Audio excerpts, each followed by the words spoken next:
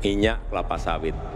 Kita tahu negara kita sekarang ini memiliki 13 juta kebun kelapa sawit yang setiap tahun berproduksi produksi sekarang ini kurang lebih 46 juta ton.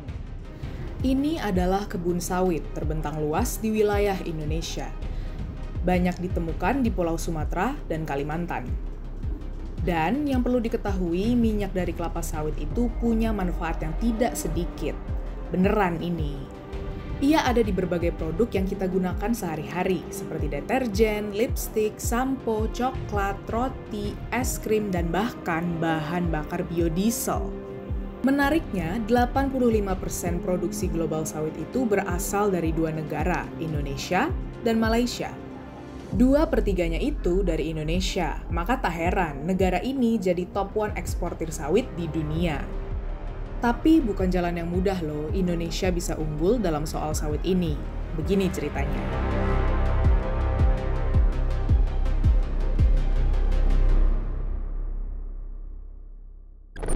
Tanaman kelapa sawit sendiri sebenarnya bukan tanaman asli asal Indonesia. Pada 1848, sejumlah orang Belanda membawa empat biji kelapa sawit Afrika dari Amsterdam, kemudian ditanam di kebun raya Bogor. Awalnya, tanaman itu hanya dianggap sebagai penghias di perkebunan tembakau. Baru pada 1911, perkebunan sawit komersial pertama di Indonesia didirikan di Sumatera oleh Adrian Hallett, seorang ahli agronomi Belgia. Sumatera cocok, sebabnya kelapa sawit butuh iklim hutan hujan agar bisa tumbuh subur. Sementara di Selangor, Malaysia, tetangganya Sumatera pada 1912, orang Prancis bernama Henry Foucault juga tertarik membeli biji sawit dari Adrian Hallett. Ia menanamnya di Tenamaram Estate untuk menggantikan perkebunan kopi yang gagal. Flash forward ke tahun 1980, Indonesia kala itu sudah punya 200 ribu hektar lahan kebun sawit. Meski begitu, Malaysia punya lahan sawit lebih luas, hampir tiga kali lipat dari Indonesia.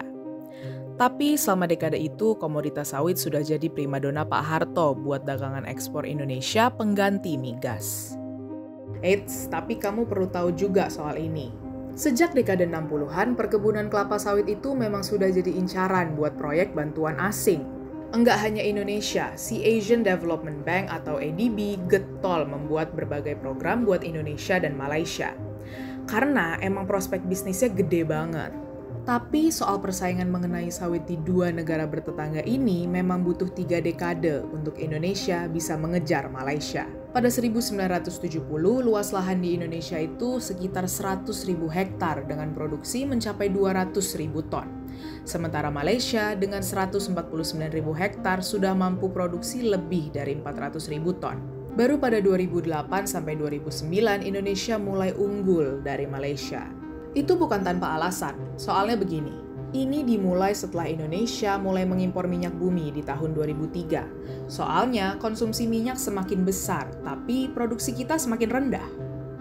Pemerintah Indonesia kemudian memiliki target mendiversifikasi sumber energi dan mengurangi ketergantungan terhadap minyak bumi. Salah satu caranya dengan mempromosikan bahan bakar hayati atau biodiesel. Di Eropa pun, tren yang sama juga terjadi.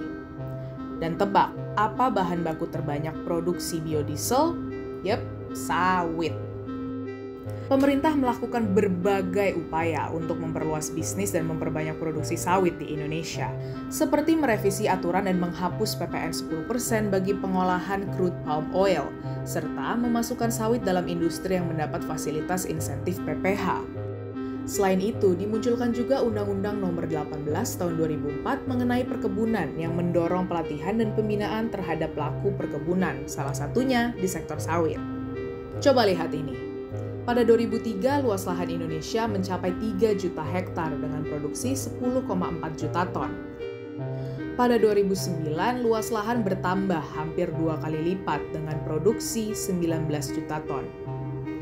Jumlah lahan sawit semakin luas dan ke mana pun produksinya juga bertambah rata-rata 8% setiap tahunnya. Pada 2009, Indonesia sudah menjadi pengekspor sawit terbesar di dunia. Pangsa globalnya sangat besar. Tiga negara tujuan utama sawit Indonesia adalah India, negara-negara Uni Eropa salah satunya Belanda, dan China. Akan tetapi, masifnya produksi sawit ini bukan tanpa konsekuensi, terutama soal masalah lingkungan. Deforestasi hutan, peningkatan emisi karbon, hingga hilangnya akses air bagi warga sekitar perkebunan adalah beberapa dampak lingkungan akibat perkebunan sawit. Belum lagi dampak sosial yang terkait dengan tenaga kerja dan lainnya. Tapi masalah terbesar lingkungan dari perkebunan sawit adalah soal hilangnya hutan di Indonesia. Temuan World Resource Institute Indonesia misalnya menyebutkan hampir 1,6 juta hektar hutan dan 1,5 juta hektar hutan primer atau setara dengan suatu wilayah yang lebih besar dari Swiss telah berubah menjadi perkebunan kelapa sawit dan hutan tanaman industri.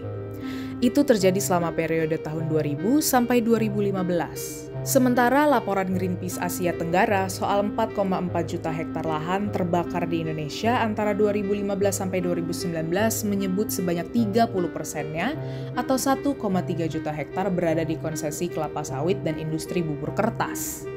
Permasalahan lingkungan inilah yang jadi salah satu alasan mengapa Uni Eropa mempersulit impor sawit dari Indonesia. Bahkan demi upaya itu, kebijakan Renewable Energy Directives di Eropa soal penggunaan bahan bakar berkelanjutan hingga 2030 tidak memasukkan sawit di dalamnya. Yap, padahal semua orang tahu, sawit adalah bahan ekonomis untuk produksi biofuel. Pada 2019, Indonesia lantas melaporkannya ke World Trade Organization atas sikap Uni Eropa itu. Terlepas dari hal itu, upaya untuk membuat mekanisme sawit yang berkelanjutan dan ramah lingkungan sebenarnya sudah mulai terjadi sejak 2004. Produsen dan pembeli minyak sawit membentuk Roundtable on Sustainable Palm Oil atau RSPO untuk menciptakan sistem sertifikasi etis untuk meminimalkan dampak terhadap hutan, satwa liar, dan masyarakat. Indonesia pun telah mendorong berlakunya Indonesia Sustainable Palm Oil atau ASPO yang disebutkan dalam PP nomor 44 tahun 2020. Perpres yang mengatur legalitas tanah sawit dan regulasi untuk menciptakan perkebunan sawit yang sustainable. Belum lagi soal kebijakan moratorium sawit sejak 2018 yang menunda pemberian izin operasi untuk perkebunan kelapa sawit agar dapat dibenahi. Aturannya sih bakal habis 2021 ini, tapi ini masih bisa kita dorong kok untuk diperpanjang. Eh, by the way, stop dulu, ceritanya jangan kepanjangan. Menurut kamu, apakah sawit itu benar-benar bisa menjadi industri yang berkelanjutan, ramah lingkungan?